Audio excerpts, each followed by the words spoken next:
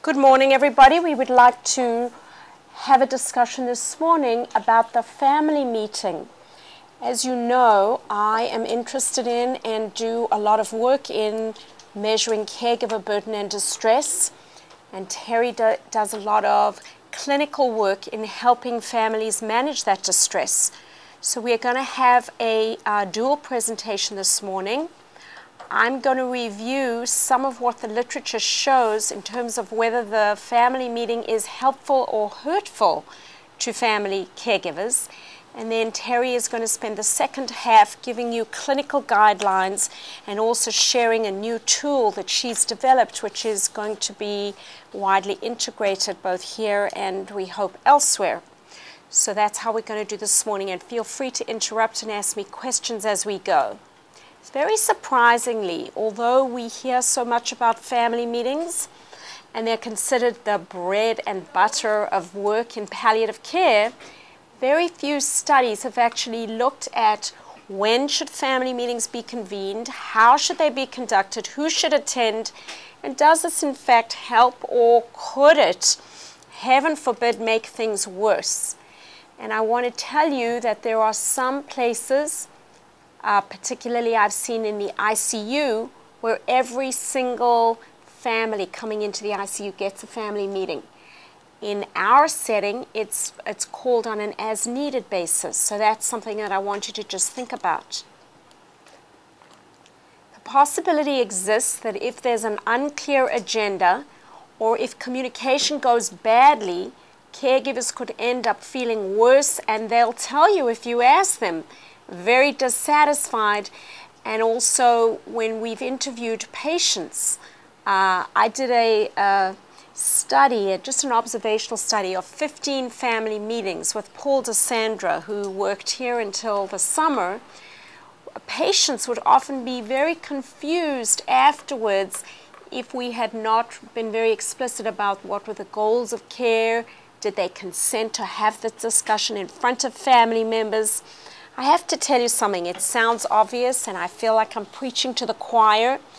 If there's a patient who is able to even listen, doesn't even if the patient can't participate, that patient should be part of the family meeting.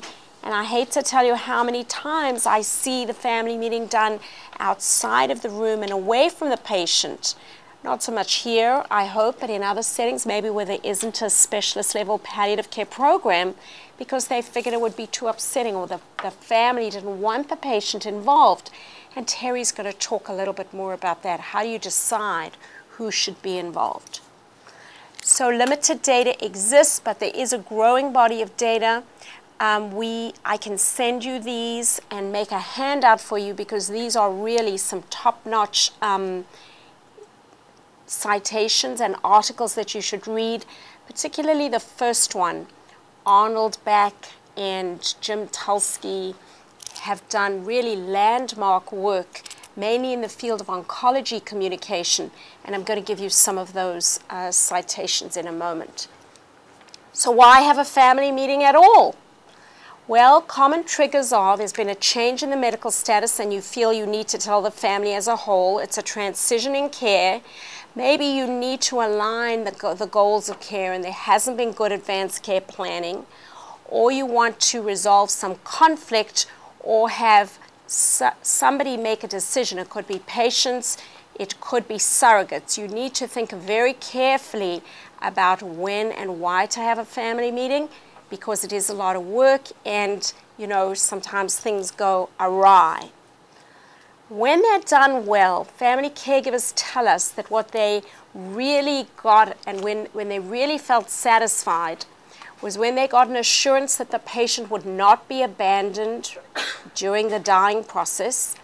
They'd be assured that the um, patient would be comfortable and wouldn't suffer, and there'd be support for their decisions about end of life care. What I'd like you to remember from this slide is that if we involve family members in decision making while the patient is alive, they have a lot less guilt and they adjust better in the bereavement phase.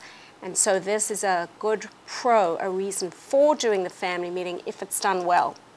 So what are the opportunities that exist in the family meeting that are better than perhaps just talking to people individually? Well, it really provides a very safe setting in which caregivers' needs can be addressed directly. You can give everybody comprehensive information together at the same time so that there's no communication breakdown afterwards. Discussion of caregivers' feelings really does reduce psychological distress, and it's a very good opportunity for us as professionals to express empathy and show active listening. And here are some things that other people have found helpful. Um, just some ways of getting going. Some people find that the most difficult part is what to say at the beginning. And I know that Terry's going to discuss that in a moment. Um, you know, so all of these are good statements. And to always wrap up at the end, are there any questions that you had that you don't feel that we've answered yet? You never know what you're going to get, but it's a good thing to ask because if you don't, you know they're going to come up later. So here are some of the structural and process issues that we need to think about every time we call a family meeting. Who calls the meeting? Is it the family? Is it the doctor? Is it the social worker? Is it the nurse? Do the staff and family agree on an agenda? Believe it or not, you're supposed to work this up before what does everybody know and what do they want to know? It's very important who attends from both sides, staff and family, because you know the dynamics and the, the way it goes is going to change depending on who's there. Where does the meeting happen? And when does it begin and when does it end? So let me tell you about a quick anecdote about one of the, the meetings that I did with Dr. DeSandre. I was there as an observer, but I, I'll tell you, I had to sit on my hands because I, my, you know, clinical tendency to jump in and, and say something was difficult to control, but I was there to observe. I didn't want to become part of the process. So he was leading the family meeting, and there was the mother of the patient, I mean, the daughter of the patient, her husband, and two kids. The patient was not involved in the room. And there was the doctor and me. 20 minutes into the meeting, the social worker came in. I'm sure she was involved in clinical care. I didn't know she was there. I would have told them to hold the meeting. But it was very difficult because she came late and had to catch up. 30 minutes into the meeting, an attending arrived from medicine who I've seen around. I don't, still don't know what his role was. I think he was a friend of the family. He arrived, he sat there with a cap and a coat, meaning like he had one foot out the door. I wasn't sure how long he was staying. And he jumped in and gave advice. And you could see that the Dr. DeSandre did not expect him. And 40 minutes into it, the chairman of medicine arrived because there was a slight chance that if the patient had surgery, her blockage in her, in her you know, GI tract would be resolved. Now, I have to tell you, I thought that the doctor did a superb job because he just kept going. But, but this could be a movie of how not to run a family meeting because every time people arrived, he had to stop, introduce them. So, in an ideal world, everybody should be there at, at the beginning and everybody should know and wear their ID badges and not wear their cap and not wear a coat. But it doesn't always happen like that in the real world, so I guess some flexibility is also good. Who speaks for the family? And are you sure that you have the right person? You know, I just read an article, the title of which is The Daughter from California. I've been worrying about the daughter from California for years, and it's actually a phenomenon, meaning it's a family member that has a lot of decision making power in the family, who's not part of the day to day activities, but arrives just in time to you know, throw a spoke into the wheel, so to speak, and make you realize that the family is not only the people that you've been seeing every day. So, very important to do that assessment. Who summarizes the meeting in the chart? You know how important documentation is. How the, the work is summarized is very important because it's going to lead to disposition and decision making And I'm going to show you that follow-up is just as important as doing the work in preparation up front. So we never promised you a rose garden. We never said this work was easy. Here are some of the roadblocks. Also, we call them bloopers sometimes. What, you know, one should avoid saying if possible. If the family says, you know, you decide, you tell us what to do, don't give us too much information. That's a hard place to be, but you have to recognize and respect their defenses. If you get into a um, keeping of secrets because the patient doesn't want the family to know or the family doesn't want the patient to know, it's a slippery slope. You're walking on eggshells and it's a very tough place to be but you know, if my colleague John Choi was here, he would say that you have to respect the cultural reality of that family, or else, you know, the, everything is going to break down when you leave the room. So you have to negotiate and find out what's comfortable for that family, which Terry is going to get into as well. If there's significant family conflict, the family meeting is not the place to resolve this. You're not going to be able to resolve long-standing family conflict in an hour. If there are hidden and competing agendas between staff members, between staff and family, be careful because those are going to to torpedo the agenda and take you off in a different direction. Very bad if staff disagree in front of the family, but it's sometimes inevitable.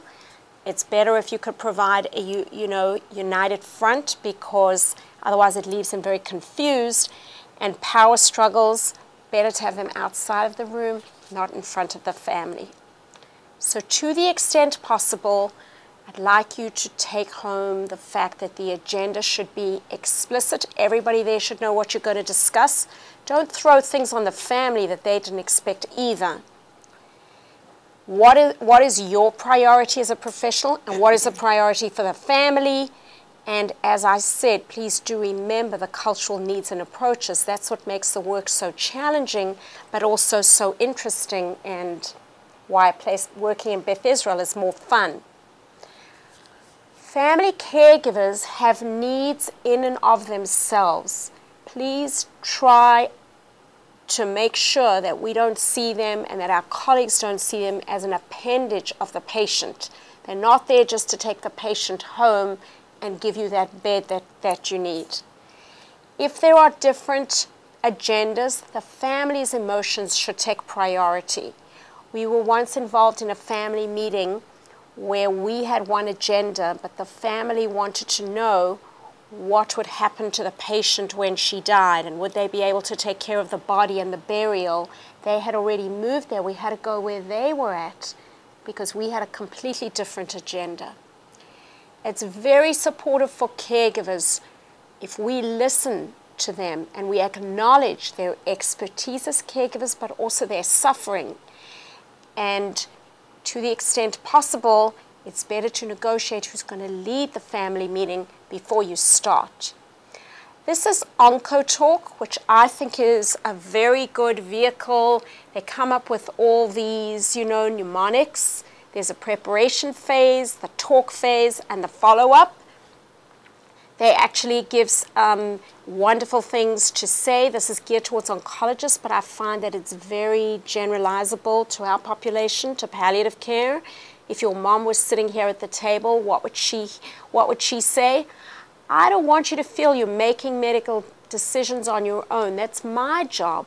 Let's start off by saying what your mom would have wanted if she were here. And if you look back on this six months from now, I want to make sure that we did what your mom would have wanted. Some of it is a little scripted and you don't ever have to say that. You have to trust your gut and you have to find what's comfortable. But I think it's very good, especially for trainees and beginning um, oncologists, to have that language. So some of the um, difficulties are when the family wants you to follow a line of treatment that you think is medically futile. That is a reason to call a family meeting and is often discussed or if they say we want to seek a second medical opinion. Uh, it's a very good place to offer support services and to say, do you think you could speak to the social worker or the chaplain or the psychologist about that. It sounds like there is some ongoing issues going on. And at the close, it's very important to summarize the content. So I just want to go over what we discussed today.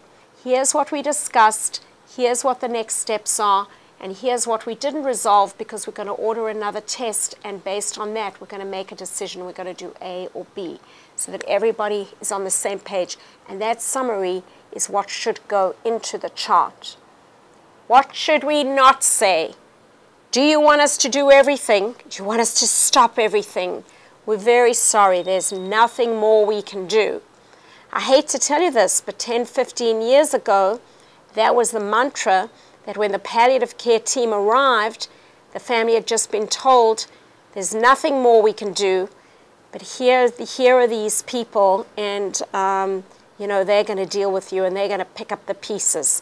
That's not how we see specialist level palliative care at all. You have failed chemotherapy, pulling the plug, very popular in the 70s and the early 80s, not a term that we use anymore. And I'm sure you could come up with a list of your own. Other things that we should not do is it's so easy to give pathophysiology lectures to draw a drawing of how you know the what's going on inside the body and not realize that this is freaking people out or losing them if family members get a glazed look and start looking out the window. You're probably using too much jargon slow down check in. How is this going on? You need to find out if the patient wants to be there. We had this wonderful 94 year old patient who did not speak a word of English, who had to go to a nursing home and could no longer live on her own. There were family members that had flown in from all over the country and were absolutely wonderful, but we're going to have the discussion in the family room on our unit. The doctor checked with the patient through a translator and said, do you want to be involved in this discussion? And she said to him something really like funny, but very insightful. She says, I'm an old lady. You think I don't know what's going on? Of course I want to be involved in the discussion. And we moved it into the room. Everybody squirmed, but that's what she wanted. It was absolutely the right thing to do. Launching into the agenda without negotiating the focus of the interview. So when you start, you say, we are gathered today, well, that sounds pretty religious, right? We are here today because we are going to discuss um, some new tests and some new findings involving your care or your mom's care. Is that everybody's understanding of why we're here today? And also, if people start to cry or get upset, giving tissues, is okay as long as you don't offer premature reassurance and cut off the discussion. People need to be able to express their feelings, and you can't rush these things. And also, you can't make decisions in one encounter. This is one way, this is a good way, but if you think it's all going to be wrapped up after this, it's, un- it's unlikely. So don't try to short circuit the conversation. If one family member is more active, check in on the others. And we've discussed telling and keeping secrets. So, just to end, some of the cultural differences that you'll come up with are communication preferences, keeping the diagnosis a secret from the patient. This can make the caregiver feel more burdened and more responsible. But it is a reality that we often feel torn between patient and caregiver needs, and that needs to be sorted out and, and, and worked out. If you're working with people who want to avoid the terms death and dying and think that talking about these things is bad luck, it's very difficult to do advanced care planning. There are ways, but you're going to have to work on those. So document who was there, Make sure that's available in the chart. Check in or have somebody who's going to follow up, check in with the patient and family to see how the family meeting went. Is there, is there anything you didn't get to? And you can always provide additional information afterwards. As I say, it's not a one shot deal, it's just part of the process. So in an ideal setting, the family meeting is really supposed to be a safe place in which family caregivers can express and process very powerful emotions. It offers us the opportunity to validate their concerns and offers them the opportunity to get recognition, help, and support from trained professionals. It is a good forum for surrogate decision making if done properly, and also for us to affirm that we're not going to abandon them or the patient and to take it from there. So I wanted to stop now, see if there's one or two questions, and then Terry is going to pick up and get more into the clinical, you know, realm and clinical guidelines for doing this work. So any questions or comments so far?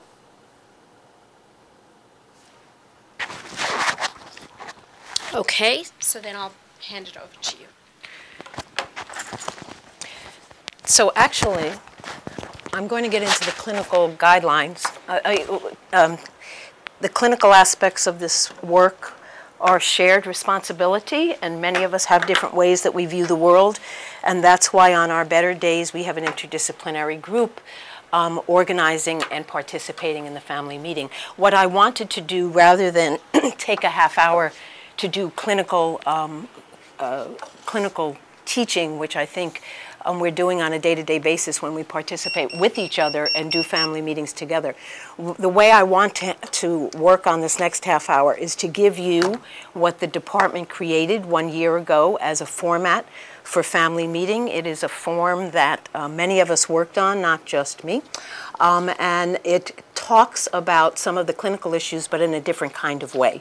So if you would take one of these, and the other thing that I brought for you, because Dr. Eddy did send us an email, I don't know if you all got it, um, has to do with this palliative care communication assessment of how we behave in a family meeting and the aspects of our participation that are really great and don't need any change other than adapting to the family that is in front of us, and those other aspects that in fact do need to be paid attention to because we're not so hot at them. So if you would take a copy of that as well, because if we really get organized around this for the next six months, then these are the documents we ought to be using when we're working together, debriefing, pre-briefing before we go into a family meeting. So I really wanted to make this um, very functional in terms of our educational goals within the department.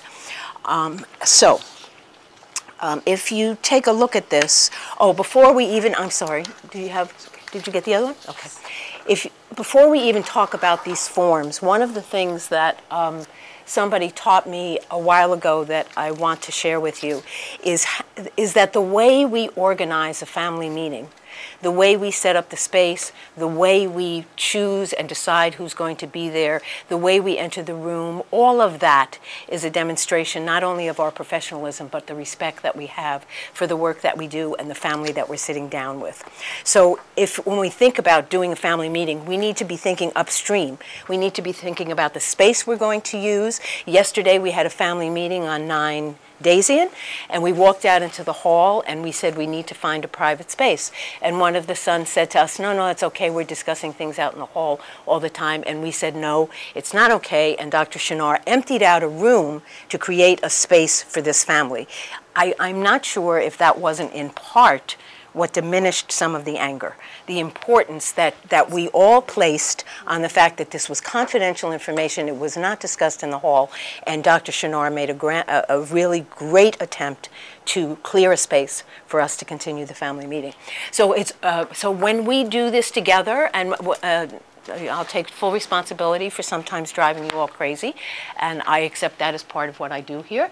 Um, we need to think before we go in the room, not as we go in the room. So that's part of what this form is designed to do, to be an, um, a, a, a clue a clue to us to take a look at it and say, what do we need to be thinking about before we sit down with this family?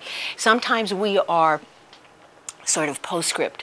Oftentimes in the MICU, we are attached to the MICU physicians who are doing a certain task because it's time for them, in their perception, to do this task with the patient and the family, and we are an add-on. We don't always have control over that. Um, sometimes we're called at the last minute. Sometimes they have no time for these kinds of things. But we when we are coordinating family meeting, we need to be thinking, um, how do we demonstrate respect for this process, respect for the work that we're doing, and most importantly, respect for the patient and the family. So one of the things, uh, before I forget it, because I will, the daughter from California, there's no reason anymore, given the technology that we have, that the daughter from California is not beamed into our family meetings. If these folks are really important, we can figure out through technology, cell phones, speaker phones, whatever it is, how to get them there even though they're not there in their physical presence.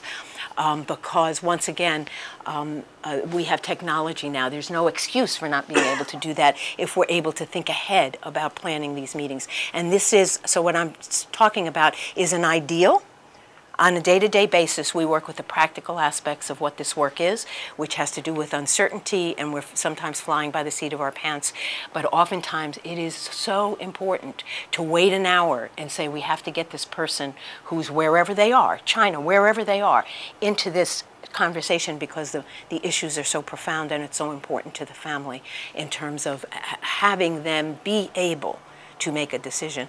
Sometimes our, Chi our Chinese families have people then we'll make a decision. So the person from China is back in town and such like that. So we, we really need to figure out, is there a way to support them and bring the people in um, to the work that need to be brought into the work. So you'll see at the top of this, this is a very simple kind of thing, um, but the participants, it says participants here. It says participants, but that's not simple. Deciding who the participants need to be is part of the preclinical work. It's part of the pre-medical work. If in fact what we're talking, do you have enough?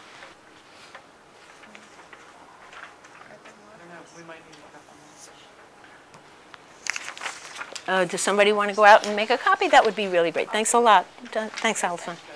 Hmm? Uh, well, I don't know. People seem not to, not to have one. So, um, part of the preclinical work is deciding who needs to be there.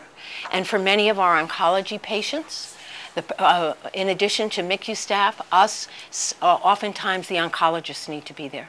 Many of our patients have been treated by oncologists for, for years and years and years, and they have very important and meaningful relationships, and they know the history in a way that we do not know at all.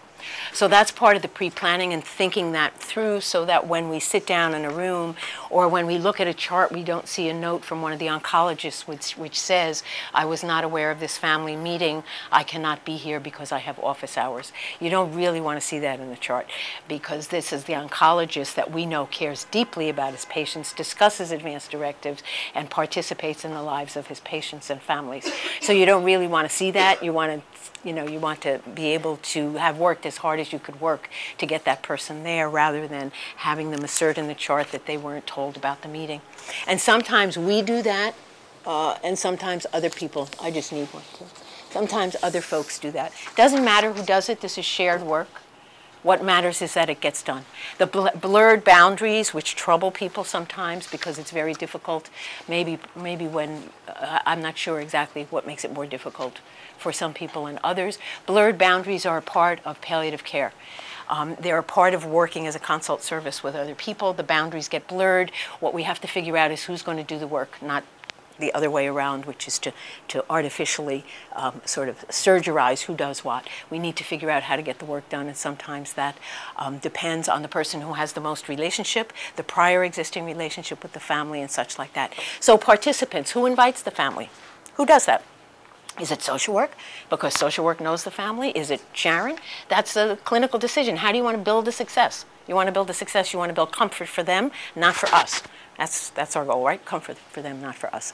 Um, now we have a situation, while this says healthcare proxy, now we have a situation because we have the new surrogacy law where um, uh, people, of course, can be surrogates, but if there is somebody that has been designated a proxy, designated an agent, that should say agent, because we're talking about the person, I think.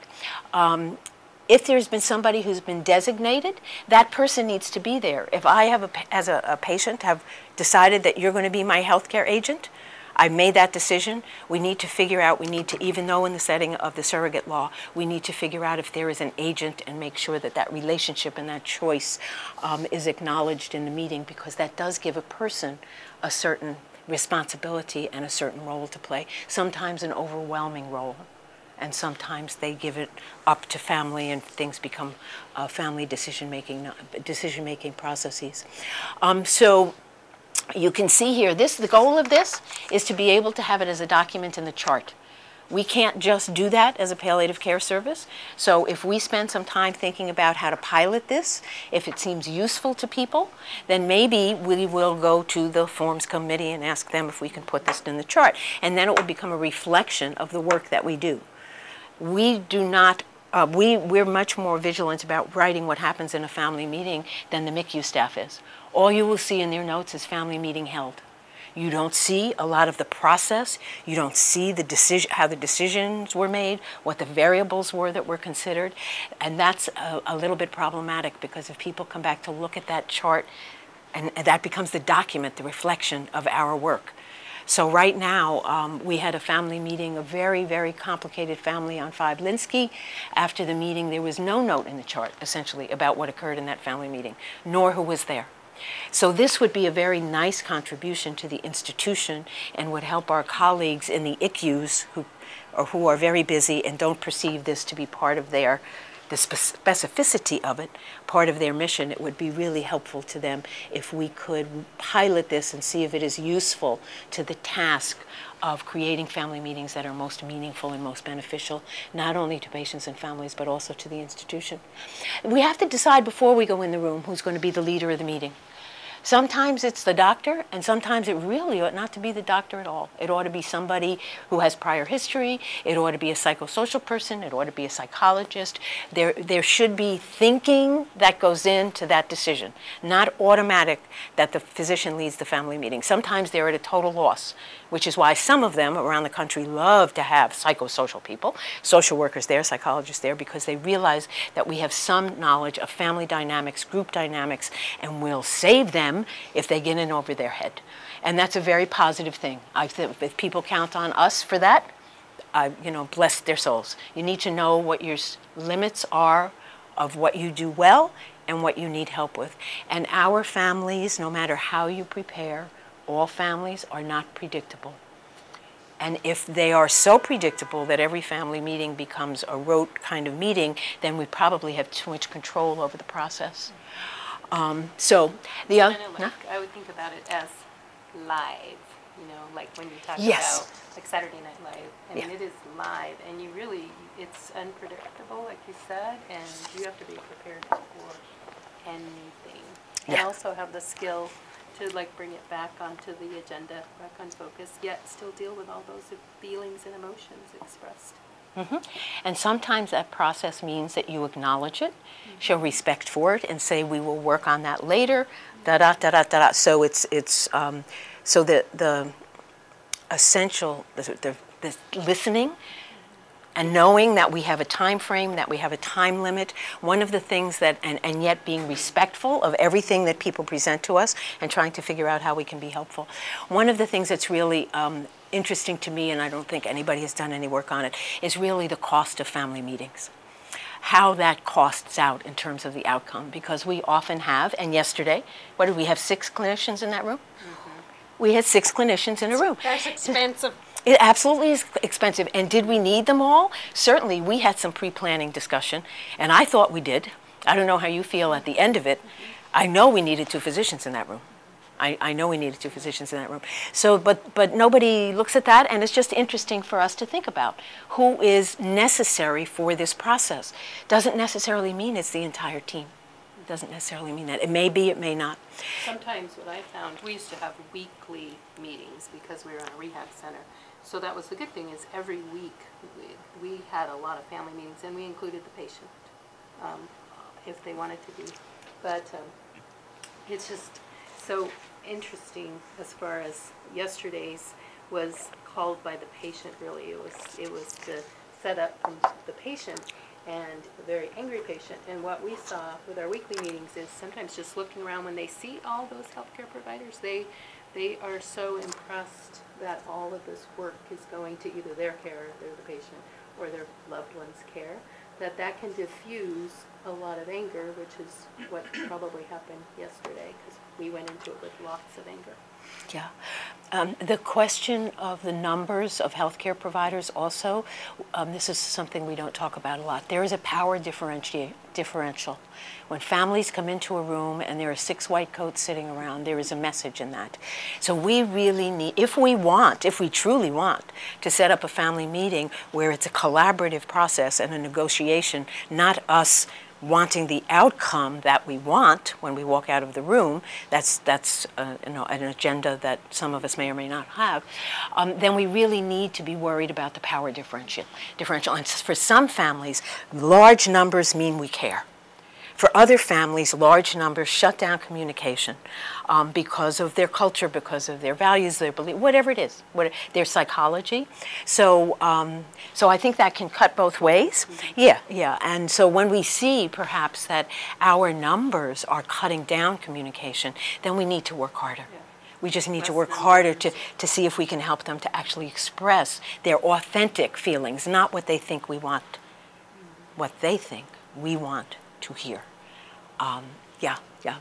So, um, so the, the conference facilitator gets to decide before we walk in the room, and that's a responsibility. We didn't know exactly who was the facilitator.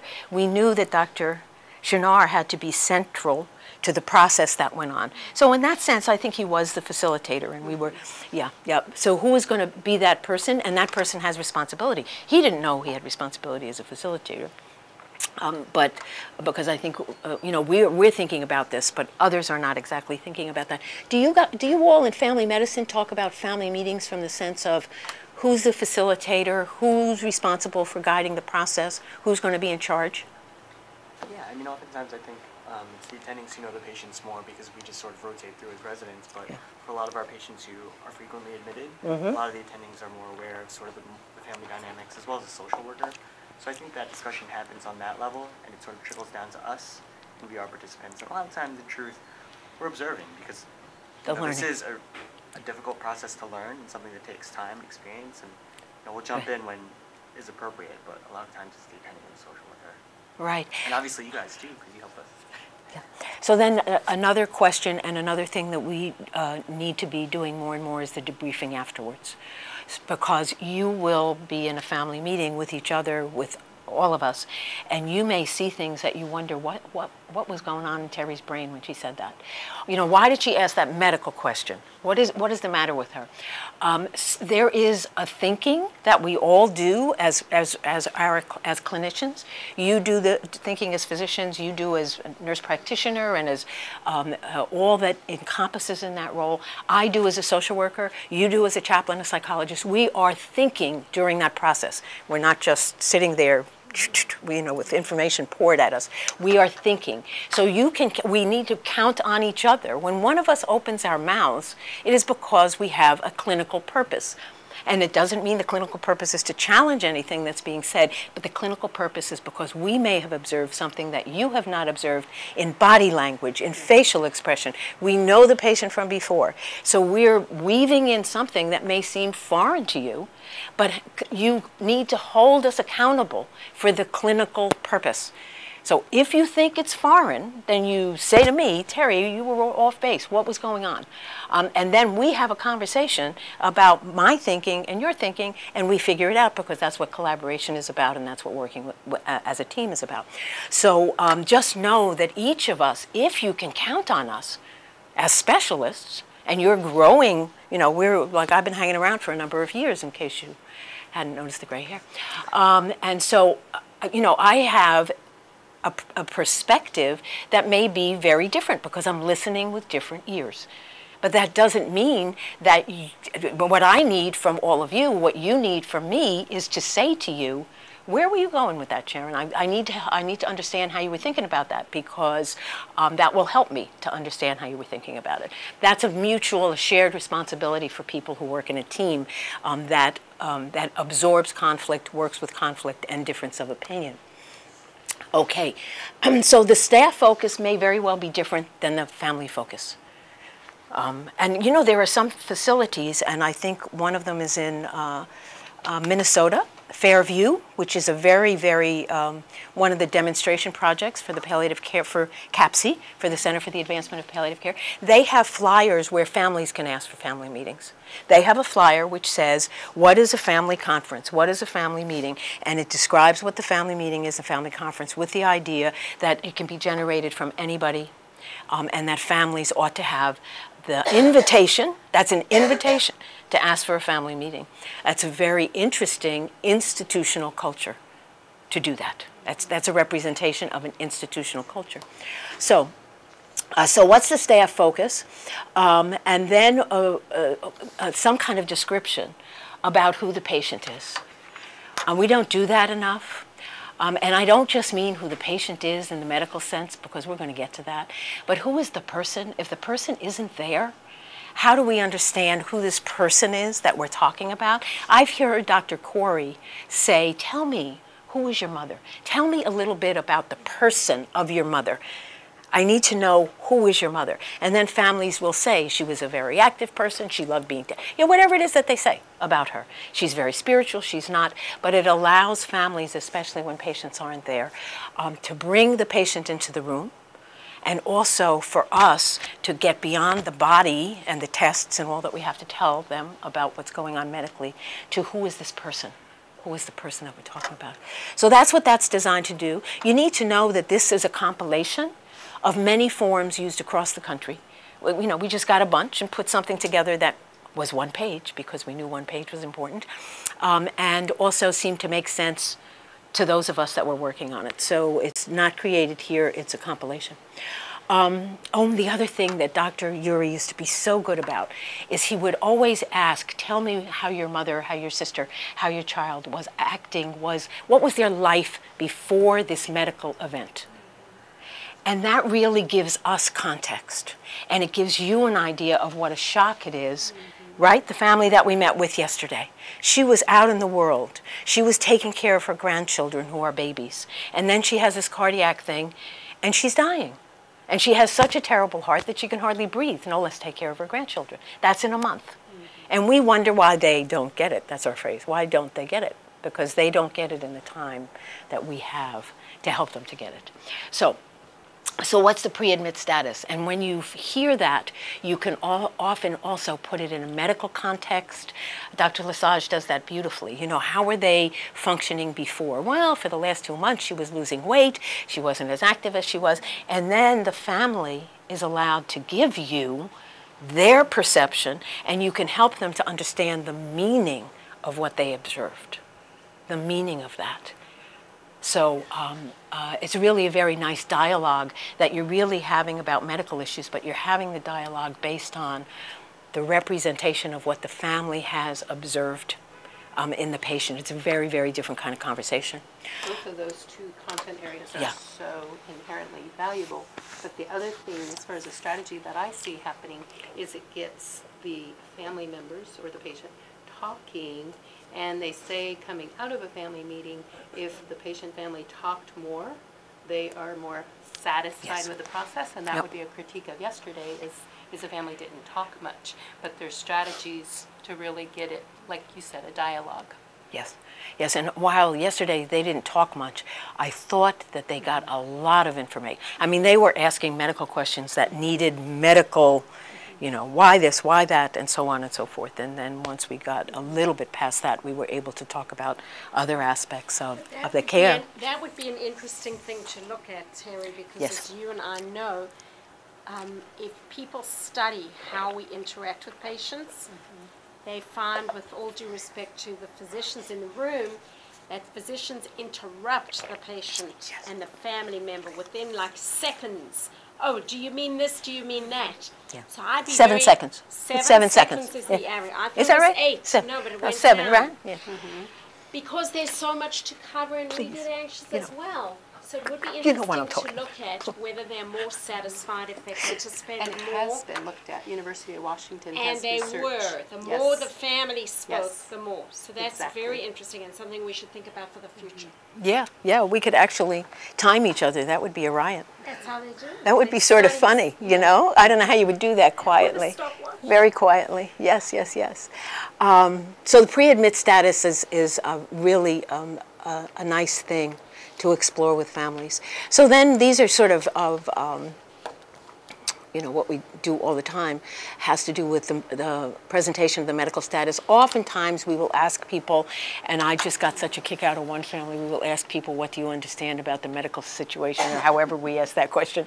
And one day, I can't remember, the family was like, you know, how many times, what are you, what are you talking to me about? What I, is, I think that they were asked that question a lot of times, and they realized that it must be something that, you know, and they were frustrated with it. They had had it. Um, but it really does, um, if you can help families to tell us where their understanding is. That really helps. If you, if you, there's a social work principle, it's called start where the patient is. That you don't start where you are. You ask ask the person, you know, what what do you understand? Where are you in this process? Because that guides how we can help them the best. And so that question is an, is an important question. What do you understand about the medical situation? And it really does sometimes help guide the pace of information that is given um, and uh, the kind of information that is given. Yeah, I thought you were going to say something, but I know you will when you want to. Um, there was something else I was going to say about that. Oh, yes, just because I did this for years and people keep doing it, and, and one day a light went off in my head. The whole idea of designating one family member as spokesperson is incongruous with the complexity of medical information that we deliver to families. Because we are asking, and we, we still, we're still doing this, decide one family member who we're going to talk to, we're going to give that family member medical information, and that family member is going to tell you all. And then we wonder why the family is confused. We give complex medical information to a non-medical person who may be emotionally involved, has an amazing job as a caregiver, that's a, a, profound role as a caregiver to be the medi- intermediary between staff and, and the rest of their family. That's a profound role. It can be very complex. And if you're a personality that needs to be in control and really loves it, it even gets more complex because there may be a power issue in it. So that's the clinical aspect of this work that you all need to count on some of us who are in the psychosocial, psychological field to be thinking about when you're there. But that idea, when, you, when it comes to your mind, just ask yourself, is this right in this family? Because what you are doing is giving that person the responsibility of communicating to all the others through their own emotion, their own suffering, their own psychology. Um, and and it, I'm not sure how smart that is in terms of what it is, what our goal is. Our goal is sometimes to make our life less complex because we don't want to keep repeating things but maybe an answer is to have another family meeting. You know, you plan then as you're leaving, we will meet again in a week, we will meet again in two days, we will meet again tomorrow afternoon to see where we are, uh, where we are with this. So, and now in these days of technology, once again, we can do that less and less because we can get people technologically connected to us in a way that we weren't unable to do for years and years. Yes? One of the things I noticed is that sometimes as spokesperson in the family are chosen are the people who have a more pragmatic way of, of behaving, like kind of a more pragmatic way of grieving. So they kind of keep it more together, they're more pragmatic, they don't ask too many questions, and so it makes it easier for providers to deal with them. But there may be implicit spokespersons in the family that we're not able to identify unless we really do a deeper work, like Terry was saying. And they, those people who don't necessarily talk or have a more um, as is described in the literature, intuitive or expressive way of grieving. You know, they may not be directly spokespersons in the family, but they have a lot of power, and they may not talk during the family meeting, but then the problem may come out after the family meeting, and then we say, well, it went so well. What happened? How come? Know, all these questions. And it's not so much because it wasn't discussed at the family meeting, but because there were other people, the, the stakeholders, who had a lot of uh, power but did not really talk because of their style. So that's something to keep in mind. Yes, yes. It's, it also, um, now that you've raised grief, grief and bereavement, um, we're all doing grief and bereavement on a daily basis. The way you work with families, the way you work with the way we deliver information, the way we manage pain, the way we manage symptoms impacts grief and bereavement. So it's not so partialized, and that's what you're raising as well. It's not so partialized that these are the grief and bereavement experts. When, when, you, when you think about, and I think about this a lot, that the way we manage symptoms in a patient impacts the mourning and the grief of the family. If their patient is comfortable, and we've helped them to be comfortable. Then you have a different kind of mourning, a different kind of process, but maybe it doesn't contain words like she was in excruciating pain till the end of her life or she couldn't take a breath to the end of her life. And maybe it doesn't uh, contain those words. So I, it's nice to think that you, on a daily basis, are contributing to the mourning of the family in the way that you care and respect for their patient. I like that. It makes me think that I have influence beyond the life right beyond the life. And I, yeah, yeah, somebody taught me once that once. Yes, a patient taught me that. Yeah. Correlate with less complicated grief after Yeah. the death. That's just the single biggest predictor. Yeah, yeah. So that's just, uh, it's not exactly about family meeting, but it's nice to think about. Um, because it, it's nice to think about it, but it also gives us a profound responsibility. Right? And, and, you know, and that's what we're here, uh, you know, we're specialists. So that's the responsibility you take. So uh, um, and hopefully we're helping each other to do it on a daily basis.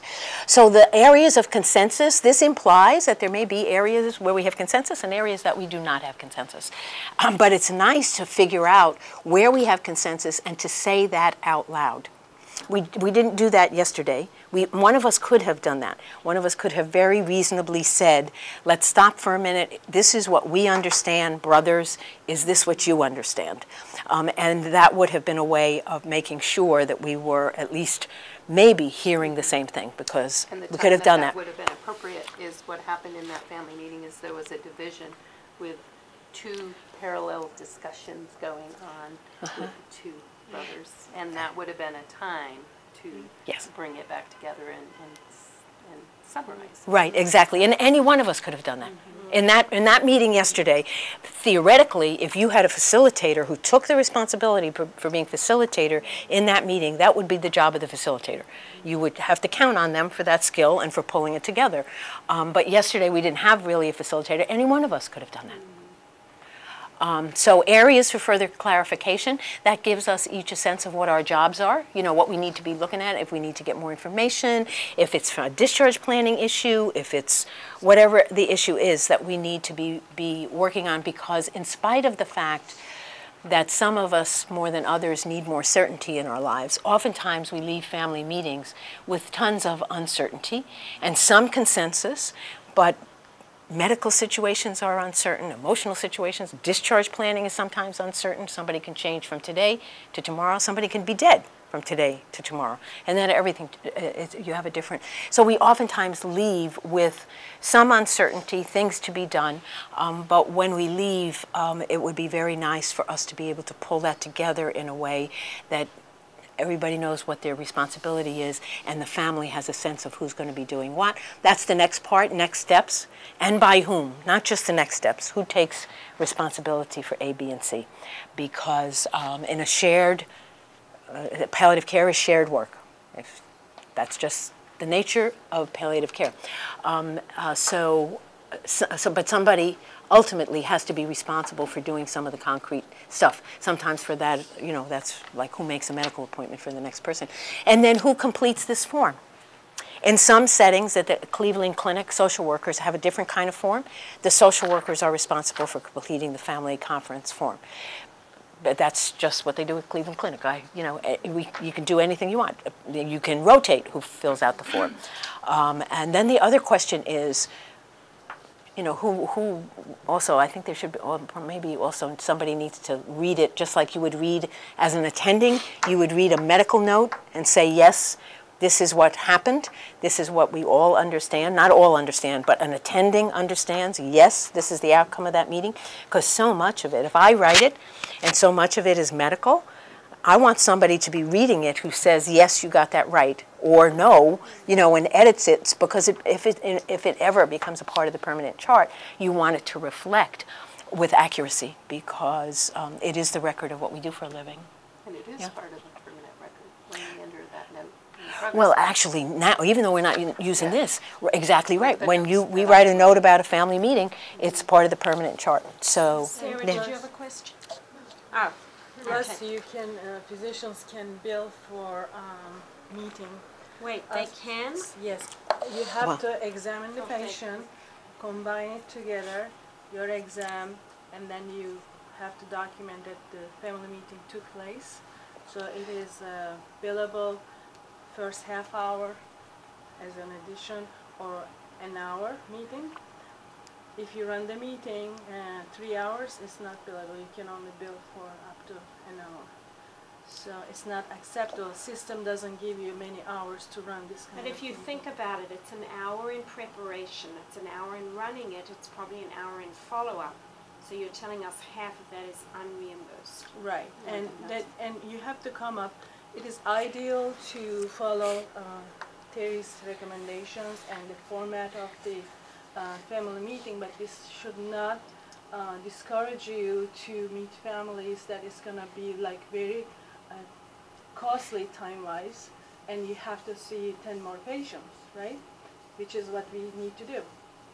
So, sometimes there are consensus on many, you know, issues, and you can run a very focused family meeting, and it's always Absolutely. Uh, Any meeting to me that takes three hours is out of control. I got to tell you, we should not be taking three hours for a family meeting.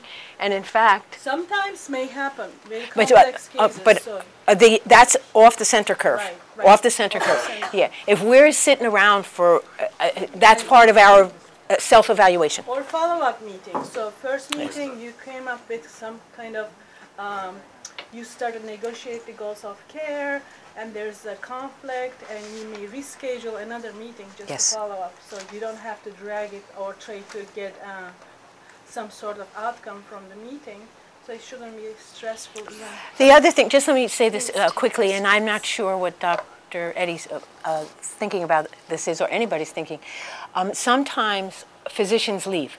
There's a, there, it's, this family meeting is focused in such a way where, and we say out loud, Dr. blah blah is going to be here for 20 minutes. We want to use this 20 minutes. We can do that. I mean, You yeah, and you used to do absolutely. that, yeah. and you- Because you have no other choice. Well, and plus, sometimes it's very productive Right. and useful. Yeah. team, Before can we end, uh, are there any questions? Oh. Is everybody um, sitting here ready to run their own family meetings? Because guess what? We're going to be doing this really soon. Yes. um, for the last few months with help and, and um, you know, feedback, we want to make sure that the trainees leave here are and know how to here? run their own family meetings. So any questions before we break? Okay, Thanks a lot. see you in the family meetings and um, thank you. See you. Yes. Yeah, absolutely. Okay, this is Here you go. good.